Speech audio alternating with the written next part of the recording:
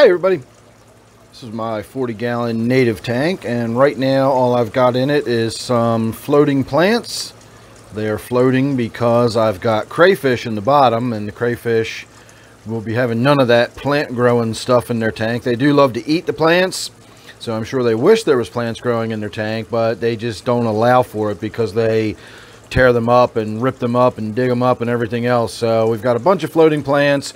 I've thrown a few capita leaves in there. I'm not sure if I'm pronouncing that, capita, capita, whatever. Um, again, for the crayfish, eventually they'll get waterlogged and sink. And crayfish do love them some sunken leaves and vegetation and stuff. They'll probably wind up uh, eating those leaves once they get down into the bottom of the tank. So it's kind of a dreary Sunday afternoon and I don't really feel like it's going to be uh, a beautiful day for going out and having some fun out in the woods. But at the same time, I would like to get a few other critters in the tank besides just these few crayfish you can see. I don't know if you can spot that one back there, but there is one sitting right there.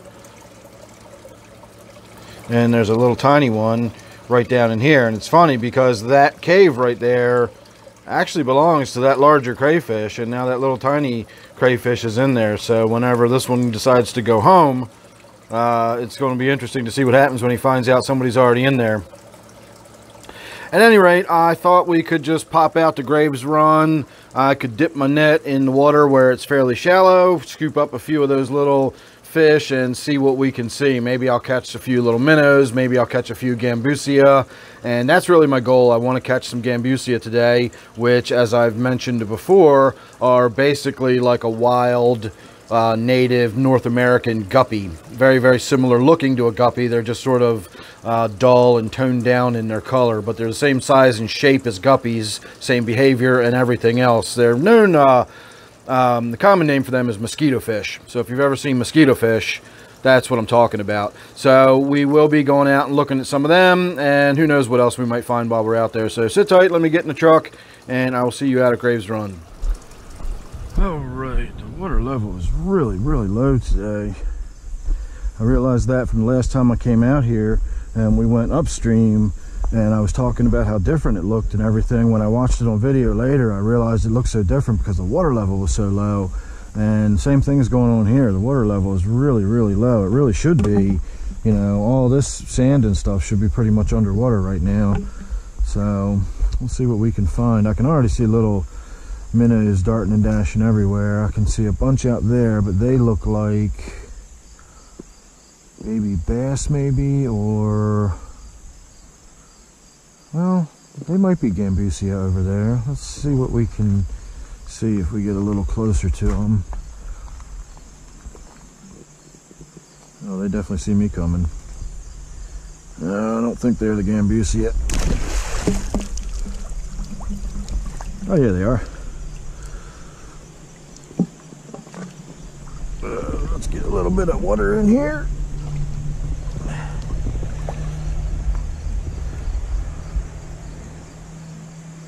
Those are definitely little Gambusia. So let's get a significant amount of water in here. I'm also going to take a sample of water home today and we're going to measure the pH and the water hardness and all that and compare it to my water and we'll see what we got. All right, now you'll often find them right up along here in the shallows. Think there's a little group of them out there, but they saw me coming.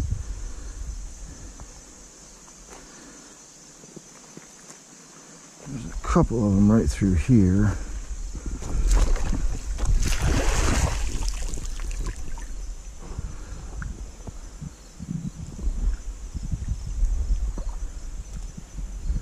If I was patient, I could just lay the net down and wait and then lift it up as they swam over top. Oh look, can you see through the water? Can you see that little clearing with the hole that goes right down underneath those rocks? I'll bet you $100 that's a crayfish house. And you can see some clearing out underneath here. All right, maybe I could try going out and corralling them towards the shore a little bit catching them that way. I don't even see them swimming around anymore. Oh, there goes a little group of them. Oh, that's perfect. There's two more.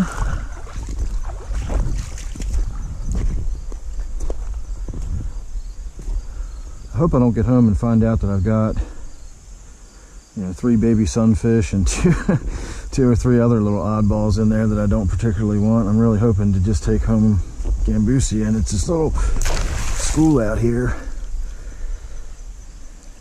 Ooh, three of them on that one.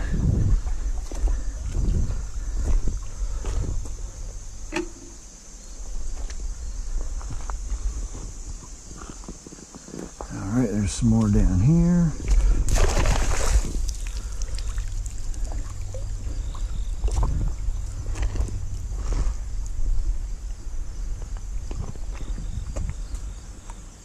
All right, there's a couple more out there.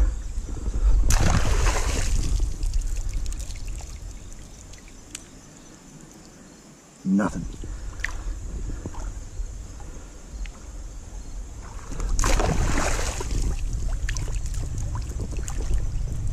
If I can spot them in the cloudy water, they can't see me coming. I can actually get them a little easier.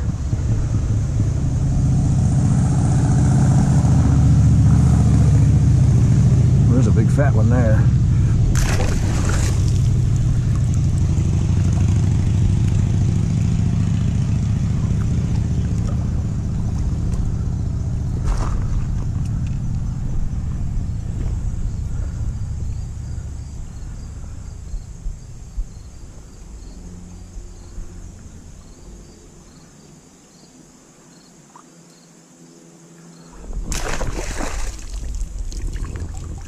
Nothing. I really don't want to scoop up net full of that cyanobacteria. I know I'm going to. Uh, that's definitely a baby bass right there. There's a couple of them. Oh, look at them all. Oh, no, you know what? Those might be the brown stripe type minnows. Yeah, that definitely. It's the um, species that I've got in my New World tank. There's a little group of them just swam by.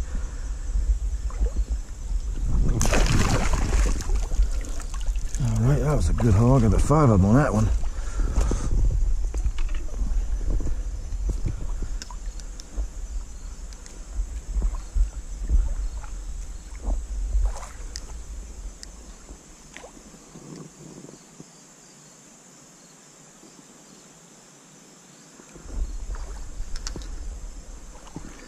Seem mostly to be down this end.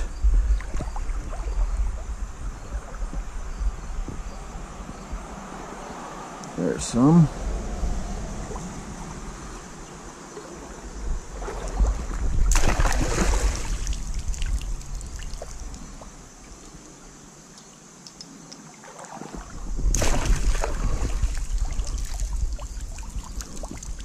Still nothing. All right, let's try going back up this way a little bit.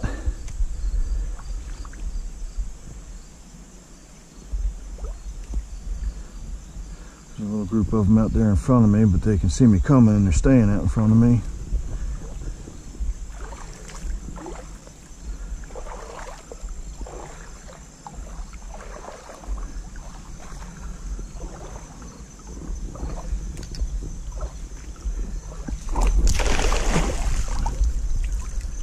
There's several of them.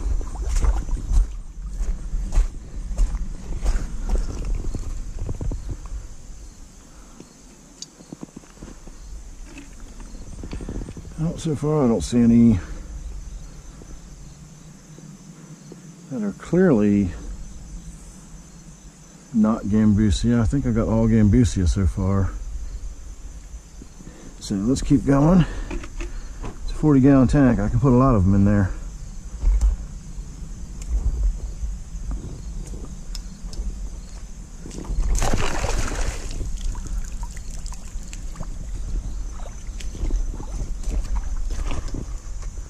All right, let's try the swinging around approach again. Last time I did that, I got about five or six of them in one scoop. Oh man, look at them all. I'm not sure if that's Gambusia or something else. It looks like something else. It's way too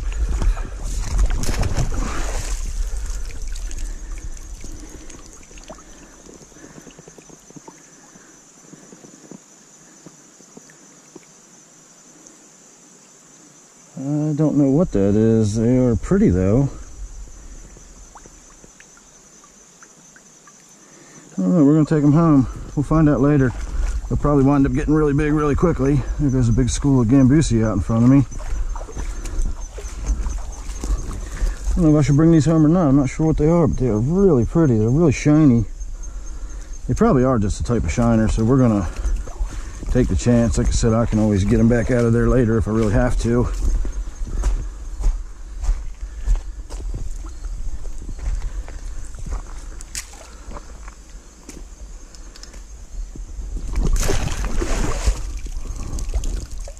some more of Gambusia.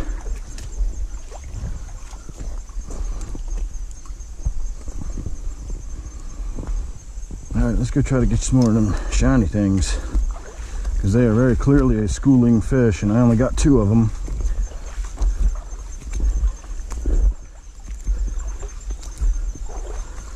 There's a bunch of stuff swimming out in front of me. I don't know if it's those same things or not. Doesn't look like it.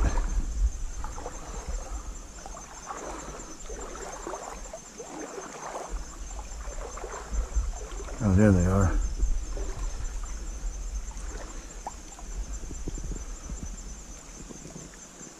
wonder if I just stood still, would they just swim back around and come past me? There's a whole bunch of them right there underwater. Problem is this net is it moves through the water so slowly. I gotta kind of hit them in shallow water. There's one more.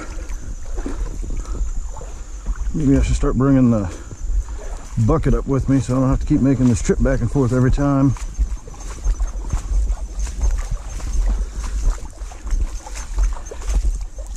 So I definitely want to bring a few of these home. They're really pretty. I just don't know what they are. All right, let's bring it this time. All right, everybody, I managed to catch one more of them. And now that I'm looking at them, I really do think they're just the same species of dace I have in the other tank already.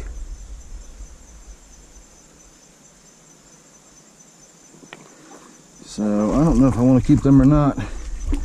We'll put them in there. I can always get rid of them later. Like I said, it'll be something to put in the tank for now anyway. All right, everybody, that's it. See you back at the house. We're not going to worry about quarantine since the tank is pretty much empty already. The tank is going to serve as its own sort of quarantine tank uh, over the next week or two as we fill it up.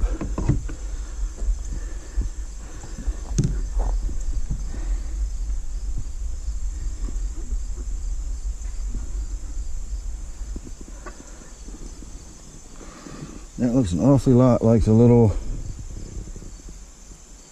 Notropis species I have in my tank already. I don't know.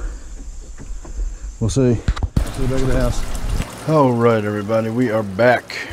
So this is what we've brought. I know you can't see them really well, but I'm telling you, that is going to grow up to be just like one of the other fish I've got in my other tank. When we saw them out in the stream, they were so beautiful and had such iridescent coloring and now I think once they get in the tank they're just going to fade. The Gambusia on the other hand are already just bland fish so we're not really going to see much a color change or anything on them. So I'm going to try to just pour these out without making too much of a fuss.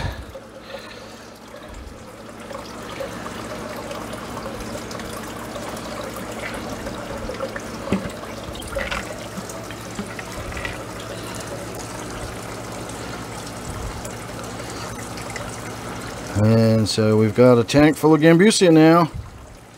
It's kind of exciting. They're not very exciting looking fish.